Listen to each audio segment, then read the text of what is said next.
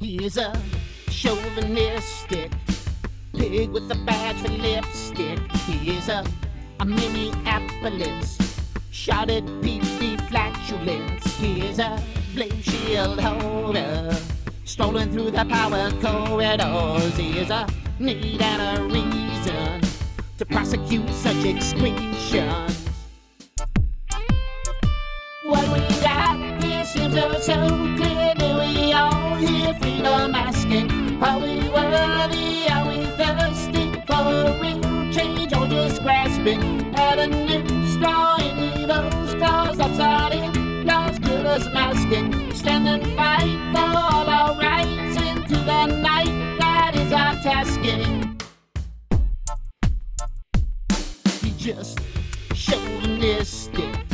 He sure the truck ain't no Kaepernick. He got a brain of a rock, feeding pain and it just don't stop. He got psycho leaders who be hate and division breeders. When he end up in prison or magnify our divisions.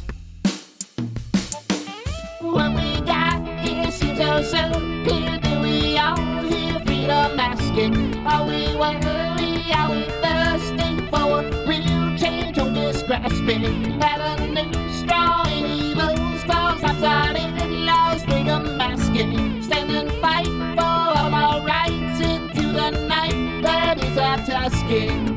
chauvinistic, fearing or displaying aggressive and exaggerated patriotism, displaying excessive or prejudicial support for one's own goal, group, or gender, an irrational belief in the superiority or dominance of one's own group or people.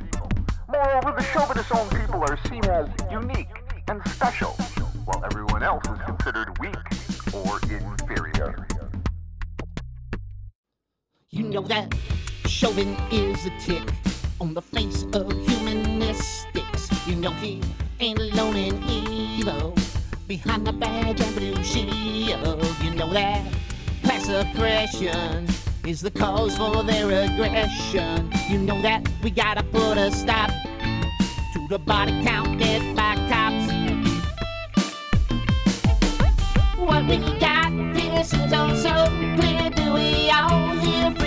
asking?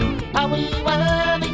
Are we thirsty for real change or just grasping at a new straw in evil's claws? Upright in laws, hatred masking. Stand and fight for all our rights into the night. That is our tasking. He is a chauvinistic pig with a badge for lipstick. He is a chauvinistic with a badge for lipstick. He is a chauvinistic pig with a badge for lipstick. He is a chauvinistic pig with a badge for lipstick. He is a chauvinistic pig with a badge for lipstick.